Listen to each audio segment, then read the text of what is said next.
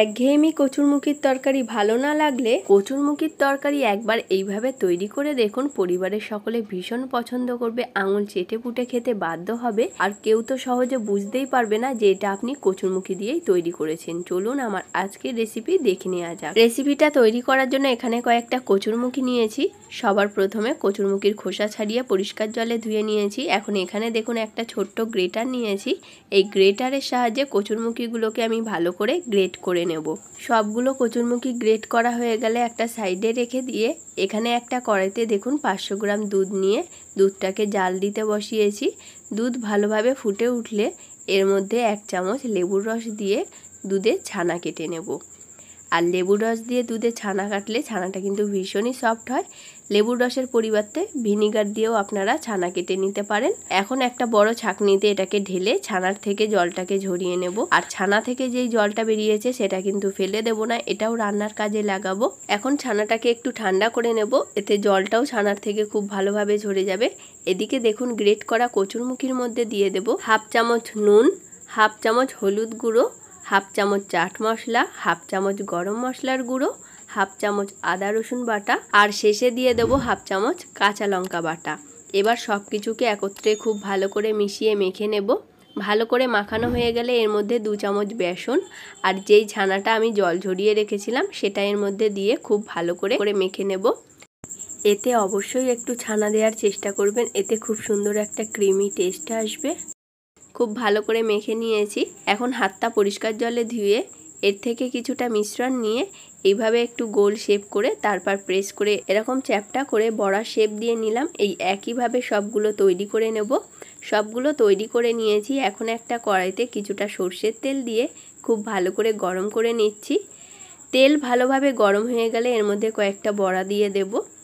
এবার গ্যাসের flame medium to low ফ্লেমে রেখে এগুলোকে ভেজে নেব। বন্ধুরা ফেসবুক থেকে রেসিপিটি দেখে থাকলে এক্ষুনি পেজটিকে ফলো করে রাখুন। এরকম ইউনিক রেসিপির নোটিফিকেশান সকলের আগে পাওয়ার জন্য। বন্ধুরা রেসিপিটা কে কোথা থেকে দেখছেন অবশ্যই কমেন্ট করে জানাবেন। ভালো লাগলে লাইক কমেন্ট শেয়ার করতে ভুলবেন না। উল্টে পাল্টে সোনালি রং আসা অবধি বড়াগুলোকে খুব ভালো করে ভেজে নিয়েছি। এখন একটা পাত্রে তুলে নেব। এই একইভাবে সব বড়াগুলোকে ভেজে নেব। সব বড়াগুলো ভাজা হয়ে গেছে। এখন একটা বড়া ভেঙে দেখিয়ে দিচ্ছি। দেখুন, ভেতরটা কত সুন্দর কুক হয়েছে। এইভাবে আপনারা চাইলে গরম গরম কচুরমুখির বড়া স্ন্যাক্স হিসেবে খেতে পারেন। বড়া ভাজার পর কড়াইতে কিছুটা তেল রয়ে গেছিল। সেই তেলের মধ্যেই আমি সম্পূর্ণ রান্নাটা সেরে নেব। এতে আর এক্সট্রা তেল দেব না। এই তেলের মধ্যে একটা বড় সাইজের আলু ছোট ছোট টুকরো করে কেটে রেখেছিলাম। সেটা এর মধ্যে দিয়ে এখন আলুর মধ্যে সামান্য একটু লবণ দিয়ে আলুটাকে ভেজে নেব। বন্ধুরা রেসিপিটা অবশ্যই ট্রাই করবেন। আশা করছি আপনাদের ভীষণ ভালো লাগবে। আর ট্রাই করে থাকলে কমেন্ট করে জানাতে ভুলবেন না। এখন তেলের মধ্যে হাফ চামচ জিরে ফোড়ন দিয়ে দেব। জিরেটা একটু পুড়ে আসলে এর মধ্যে দিয়ে দিচ্ছি একটা মিডিয়াম সাইজের পেঁয়াজ কুচি। পেঁয়াজটাকে হালকা একটু ভেজে নেব, খুব বেশি ভাজার দরকার নেই। পেঁয়াজ ভালো করে ভাজা হয়ে গেলে এর মধ্যে হাফ চামচ রসুন বাটা আর হাফ চামচ আদা বাটা দিয়ে আদা রসুনের কাঁচা গন্ধ না যাওয়া পর্যন্ত একটু সময় ভেজে নেব। পেঁয়াজের সাথে আদা রসুন বাটা একটু ভেজে নেওয়ার পর এর মধ্যে দিয়ে দেবো একটা টমেটো। ছোট ছোট টুকরো করে রেখেছিলাম, সেটা দিয়ে একটু নেড়ে চেড়ে টমেটোটা নরম হয়ে আসা অবধি একটু ভেজে নেব। দেখুন, এখন টমেটোটা অনেকটাই নরম হয়ে এসেছে। এখন এর মধ্যে কিছু গুঁড়ো মশলা দিয়ে দেব। হাফ চামচ ধনের গুঁড়ো, হাফ চামচ ভাজা জিরের গুঁড়ো, হাফ চামচ হলুদ গুঁড়ো, আর দিয়ে দেবো হাফ চামচ লঙ্কার গুঁড়ো। এবার মশলা বেটে নিয়েছিলাম সেই শিল ধোয়া জলটা। আমি এর মধ্যে দিয়ে মশলাটাকে খুব ভালো করে কষিয়ে নেব। মশলা ভালো করে কষানো হয়ে গেছে, মশলা থেকে তেল ছেড়ে দিয়েছে। এখন এর মধ্যে ভেজে রাখা আলুগুলো দিয়ে দেব। এবার আলুটাকে মশলার সাথে কষিয়ে নেব। ভালো করে কষিয়ে নিয়েছি। এখন এর মধ্যে ছানা কাটিয়ে যেই ছানার জলটা রেখে দিয়েছিলাম, সেই জলটা দিয়ে ভালো করে মিশিয়ে নিলাম। এখন এতে স্বাদ অনুযায়ী লবণ দিয়ে ভালো করে মিশিয়ে নেব। তারপর গ্রেভিটা ফুটে আসা অবধি অপেক্ষা করব। গ্রেভি ফুটে আসলে এর মধ্যে সামান্য একটু কাসৌরি মেথি দিয়ে দিলাম। আপনারা চাইলে কাসৌরি মেথির পরিবর্তে ধনে পাতা কুচিও ব্যবহার করতে পারেন। তারপর ঢাকনা দিয়ে দুই তিন মিনিট রান্না করে নেব। এতে আলুগুলো খুব ভালোভাবে সিদ্ধ হয়ে যাবে।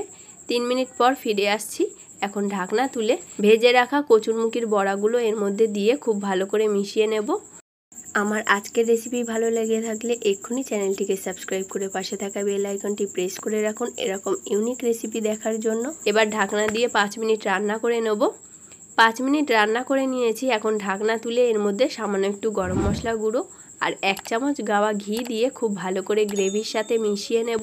এখন গ্যাসের ফ্লেম বন্ধ করে এটাকে ঢাকনা দিয়ে পাঁচ মিনিট স্ট্যান্ডিং টাইমে রেখে দেব। দেখুন, পাঁচ মিনিট পর আপনাদের দেখাচ্ছি। গরম ভাতে সার্ভ করার জন্য কচুরমুখির রসা আমাদের একদম তৈরি। আজকের ভিডিও এখানেই শেষ করছি। সবাই ভালো থাকবেন, সুস্থ থাকবেন। দেখা হবে নেক্সট ভিডিওতে।